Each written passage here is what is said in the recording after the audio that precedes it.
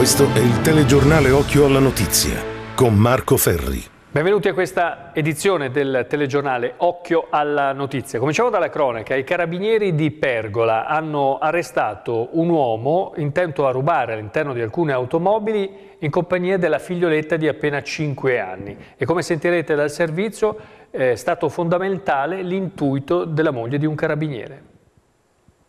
La bambina aspetta poco distante mentre regge una bicicletta da adulto e lui ripulisce le auto parcheggiate. Ma questa volta è andata male ad un trentenne moldavo in vacanza a Pergola dalla nonna della bambina di 5 anni, figlia della compagna. A smascherare l'uomo è stato l'intuito della moglie di un carabiniere che, insospettita dall'uomo che scrutava l'interno di un'auto fuori da un supermercato, non ha esitato a chiamare i colleghi del marito che sono subito intervenuti, cogliendo sul fatto il moldavo con ancora addosso il portafogli rubato poco prima dall'auto. L'uomo è stato arrestato per furto aggravato e nella mattinata di oggi portato davanti al giudice di Pesaro che ha condannato il moldavo a sei mesi d'arresto con pena sospesa e la bambina a affidata alla madre previo accordo del Tribunale dei minori di Ancona. E c'è stato un tentativo di furto, un tentativo di furto questa notte alla ferramenta Arturo Mancini attorno alle 4.40. Le telecamere di videosorveglianza collegate con la centrale operativa della Vigilar hanno individuato un furgoncino all'interno della struttura con i portelloni aperti e due persone intente ad armeggiare lì attorno. L'operatore della centrale ha subito allertato la guardia giurata eh, che si trovava in zona e il 112 dei carabinieri, ma all'arrivo dell'operatore della Vigilar i malviventi non eh, c'erano più, eh, mentre il cancello era visibilmente eh, manomesso. E adesso invece parliamo delle opere compensative della 14, l'autostrada A14. Nei mesi scorsi abbiamo dato spazio alla rabbia dei proprietari eh, terrieri. Eh, questa volta invece parliamo di nuovo di questi espropri, ma dando la buona notizia che il Comune è riuscito a far modificare alla società autostrade alcuni dei tracciati. Vediamo in questi due servizi di che cosa si tratta. Qui prima nell'attuale rotazione... Effettuare in corso d'opera modifiche ad un progetto già in fase esecutiva è un percorso difficile e lungo, ma ci siamo riusciti. Con queste parole l'assessore ai lavori pubblici Cristian Fanesi ha annunciato l'avvio dell'iter attraverso una delibera di indirizzo del Comune di Fano per rispondere alle aspettative dei tanti proprietari che hanno vibratamente protestato nei mesi scorsi per tante situazioni che li vedeva fortemente penalizzati dalle opere compensative della società società autostrade. Tutta l'iter sulle opere compensative si era conclusa per quello che riguarda il progetto e abbiamo già portato in giunta le modifiche parziali eh, al tracciato che tengono conto di tutte le esigenze che sono state manifestate, io ripeto giuste. Eh, però ecco ci tengo a sottolineare che questo è grazie al lavoro che il sindaco, l'assessore e il dirigente hanno fatto con tutti gli enti, i nostri viaggi a Roma hanno portato a questo risultato che è in itinere eh, allungherà leggermente i tempi, però il risultato sarà importante e soprattutto non andrà a ledere eh, le persone, non andrà a ledere anche tutta una serie di spazi, compresi anche quelli pubblici. Queste variazioni che hanno già ricevuto il benestare di società autostrade, provincia e regione verranno entro la prossima settimana sottoposte ai diretti interessati che dovranno, condizio sine qua non, impegnarsi a non opporsi all'iter procedurale sugli espropri. Eh, la prima cosa che bisogna dire è che se non c'è il consenso delle persone che saranno espropriate in più o in meno, in alcuni casi, in pochissimi casi, però comunque se non c'è il consenso di, delle persone noi non possiamo procedere a fare queste modifiche perché l'opera è già stata autorizzata in tutto e per tutto e l'occupazione è già stata fatta. Quindi ovviamente se non c'è il consenso della gente noi non possiamo andare avanti perché i tempi diventerebbero talmente lunghi che creeremmo un danno sulle autostrade la quale ci riserverebbe poi di chiederci indietro dei soldi. Eh, dove c'è adesso, adesso c'è un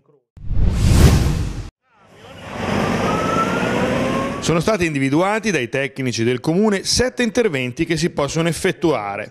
Vediamo quali sono con l'aiuto delle planimetrie che ci consentono di vedere in blu il progetto originale ed in giallo le modifiche proposte ai cittadini. Eh, partiamo da nord, quindi dalla strada che va eh, a Carignano e qui abbiamo previsto un piccolo spostamento della rotatoria in maniera tale da rendere più agevole dire, la vita a questa famiglia e, e dunque insomma e poi abbiamo alleggerito diciamo, questa curva eh, che è la, diciamo, la curva che va sale verso la zona di Belgatto. E questa è una modifica che prevede anche il restringimento della rotatoria. Il secondo intervento è Rosciano, questa è l'autostrada, questo è diciamo, la sottovia che collega appunto località Forcolo, diciamo la zona Codma con Sant'Orso. Questa rotatoria verrà leggermente ristretta e questo accesso sarà fatto in maniera differente in modo da risparmiare eh, come dire, eh, terreno. Questa è la strada di Cerbara, il proseguio di via Soncino, quindi Sant'Orso, queste sono le ultime case di Sant'Orso e questa rotatoria verrà leggermente spostata e ristretta in maniera tale da poter allontanare il più possibile e non intaccare diciamo, le, le, le, dire, la recinzione di questa casa. Qui il blu è il eh, progetto originario, il giallo è quello che verrà realizzato. Sì, eh, il blu appunto è l'originario, il giallo è quello, eh, diciamo, la modifica che noi chiederemo. Questa è un'altra modifica abbastanza importante, qui ovviamente la scala fa un po' la differenza, per questo è un tratto di strada molto lungo che collega via Mattei, che è questa, quindi l'aeroporto, la strada dell'aeroporto dove c'è la sede dell'ASET, con questo rotatore che si trova proprio a ridosso dell'autostrada, quindi qui cambiamo leggermente il tracciato in questa parte diciamo di territorio mentre qui lo cambiamo in maniera un po' più drastica cercando di non passare in mezzo a questo, questo campo. Qui siamo invece questa è via Papiria, questa è via Mattei che adesso si interseca in una sorta di mezza, diciamo, di innesto a T, diciamo, in curva, eh, era prevista una rotatoria più verso mare, eh, tra l'altro in mezzo prevedeva anche, come dire, di occupare l'area di un pozzo, abbiamo cercato di stare più eh, vicino al canale, cercando un po' di diminuire la rotatoria e credo che eh, anche per evitare interferenze con eh, diciamo, il pozzo e con l'Enel. Questo è l'intervento diciamo, più discusso, più eh, come dire, che mh, ci ha impegnato, tra virgolette, perché mentre negli altri interventi tutto sommato si, di, si modifica leggermente eh, diciamo, le aree espropriate, anzi si restringono in alcuni casi, quindi porta un vantaggio alla popolazione, che, ai residenti, qui invece si cambia proprio la filosofia.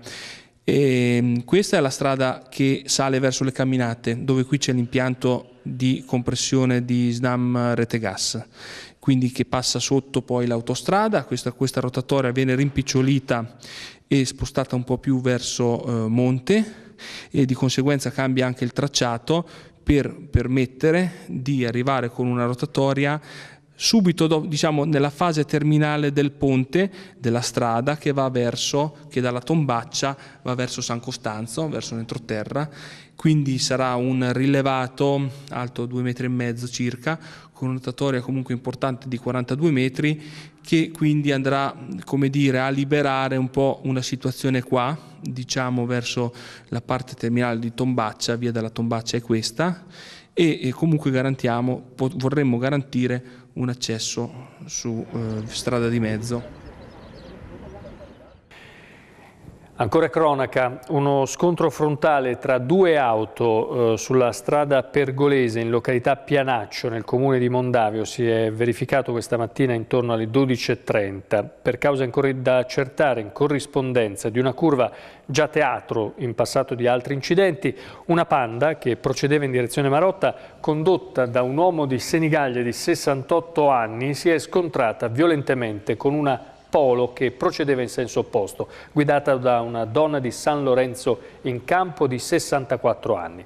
Il 118, intervenuto sul posto, viste le condizioni della, della donna, ha attivato l'elisoccorso che l'ha trasportata al Torrette di Ancona mentre ha disposto il trasporto dell'uomo all'ospedale San Salvatore di Pesaro. Intervenuti anche i vigili del fuoco di Fano per liberare dalle portiere incastrate i due conducenti e poi la eh, Polizia Municipale di Mondavio per i consueti rilievi di legge. e un ordigno della seconda guerra mondiale, inesploso e ancora in buone condizioni, è stato ritrovato in un campo arato in località Falcineto di Fano nel pomeriggio di ieri. A ritrovare la granata da mortaio è stato Lucio Bevilacqua con il suo metal detector, mentre eh, scandagliava un campo eh, fuori dal centro abitato in località Torno. L'area è stata interdetta e messa in sicurezza dagli uomini del commissariato di Fano, mentre l'ordigno bellico è stato transennato in attesa, in attesa dell'arrivo degli artificieri. Spesso le immagini di videosorveglianza sono state decisive in alcune eh, indagini di polizia. Ora il comune di Fano ne piazzerà altre eh, in diversi punti della città. Vediamo quali. Sant'Orso e la zona del Pincio presto avranno un grande fratello che sorveglierà su di loro.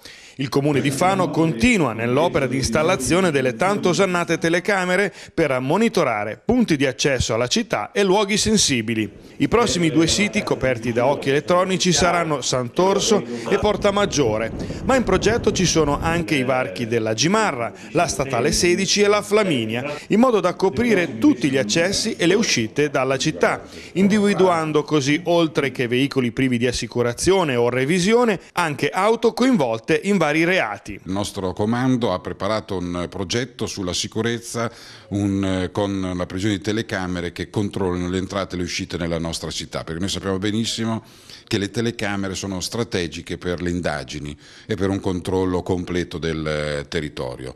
È un piano che mancava, che noi abbiamo dotato, di cui abbiamo dotato la città.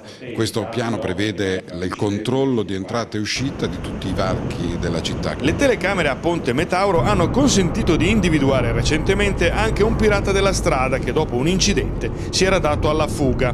A questo proposito, Polizia Municipale e Amministrazione portano avanti da tempo il progetto Adotta una telecamera che consente ai privati di sostenere i costi di installazione ma di aumentare la propria e l'altrui sicurezza. Progetto molto interessante perché tutela la sicurezza eh, attraverso il sistema informatico di telecamere, telecamere intelligenti che sono in grado di leggere le targhe, di trasformarle in messaggi, telecamere che, anche, che funzionano anche da, da mh, perfetta videosorveglianza. E, oltre al, mh, al, varco che è già stato individuato eh, si intende realizzare eh, gli ulteriori varchi, si intende anche realizzare il punto strategico di Porta Maggiore e soprattutto si intende anche rilanciare la progettualità del, della dotta una telecamera dove cittadini, aziende, istituti, banche possono eh, partecipare per, per eh, la propria sicurezza, per la sicurezza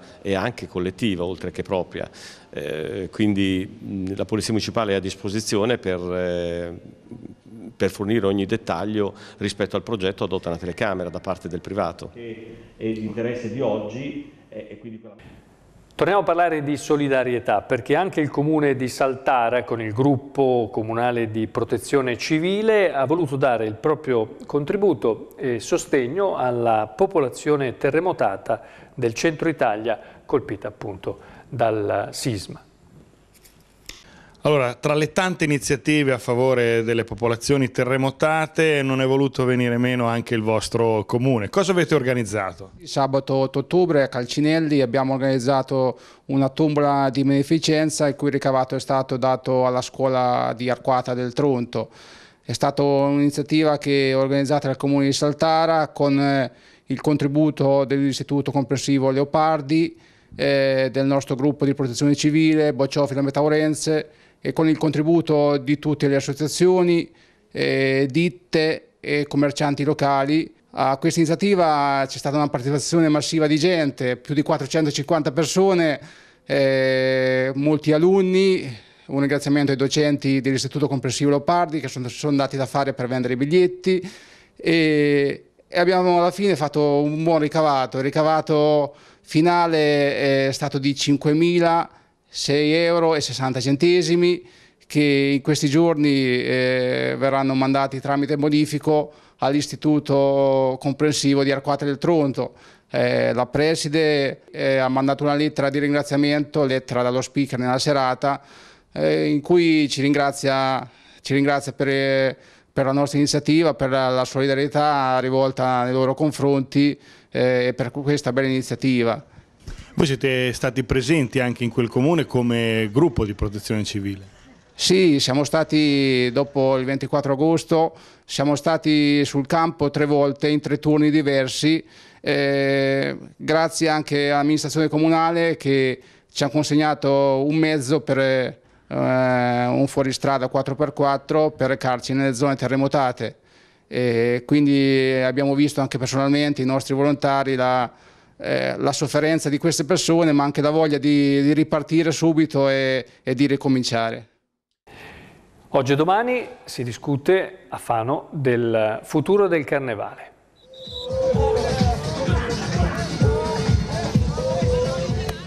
Questo carnevale storico riconosciuto in tutta Italia eh, per l'importanza, oltre che avere una grande valenza culturale, sociale e economica per il territorio di Fano, ormai sempre più deve riscoprire una grande opportunità dal punto di vista della promozione turistica. E allora è chiaro che la Regione Marche sui grandi eventi, oltretutto che sono fatti fuori stagione, questo diventa importante per far diventare le Marche attrattiva da questo punto, sicuramente vuole essere vicina e vuole essere presente. Dobbiamo mettere a disposizione del, della Presidenza dell'Associazione tutta un'opportunità che permetterà di avere un respiro almeno pluriennale. Ecco, su questo dobbiamo lavorare e la Regione per quello che riguarda sarà attenta e vicina a creare progettualità che possono essere allo stesso tempo opportunità lavorative e di grande promozione. Su questo sicuramente c'è l'impegno di tutta la Giunta regionale, in particolar modo mio e del Presidente Ceriscioli.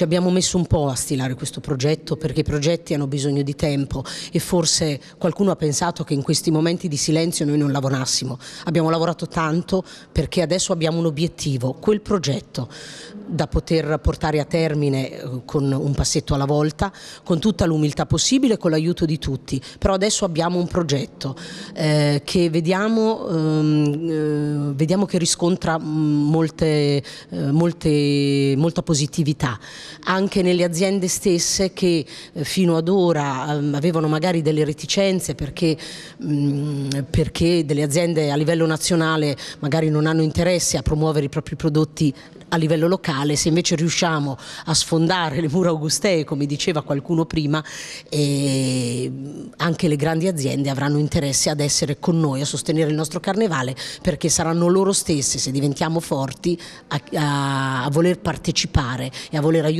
il carnevale di Fano.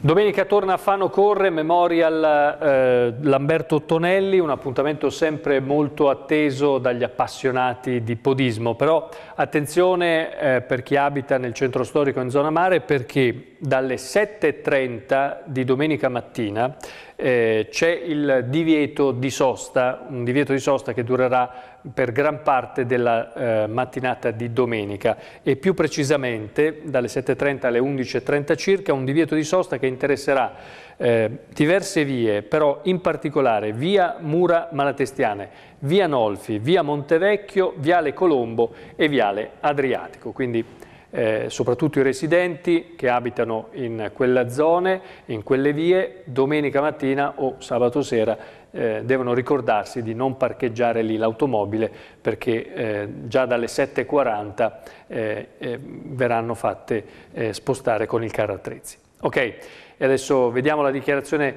su questa iniziativa e poi saluti. Allora, ancora quest'anno ricorre il trofeo a Tonelli, pensate di coronarlo con una corsa anche quest'anno? Certamente, certamente. Domenica è vicinissima e il ritrovo per tutti è domenica 23 ottobre alle ore 8 del mattino in piazza 20 settembre. Inizieremo alle 9 con i bambini e i ragazzi con eh, medaglia ricordo e succo completamente gratis per tutti i partecipanti. Poi alle 9.30 finalmente spazio agli, agli adulti con eh, fermatissimo chiaramente il percorso con partenza e arrivo in piazza 20 settembre. Faremo città, poi mare, lungomare Sassonia e di nuovo in città con il suggettivo passaggio sotto l'arco d'Augusto.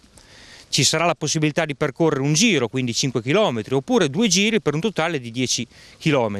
Comunque alla fine ricco buffet per tutti i partecipanti. Ci saranno tanti camminatori che vengono non solo dalle Marche ma anche dall'Emilia Romagna, dalla Toscana, per passare insomma, una bella giornata in, in allegria. Invitiamo chiaramente tutti a partecipare, le iscrizioni si possono fare al momento, invitate anche familiari, amici, bambini per passare appunto una giornata in allegria nelle varie attività collaterali previste. E invitiamo anche a rimanere poi a pranzare in piazza, nei vari locali aperti per eh, l'occasione. Sicuramente domenica Lamberto farà un bel sorriso. Da Faro Corre, buone corse. Ed è tutto. Grazie per averci seguito. Arrivederci.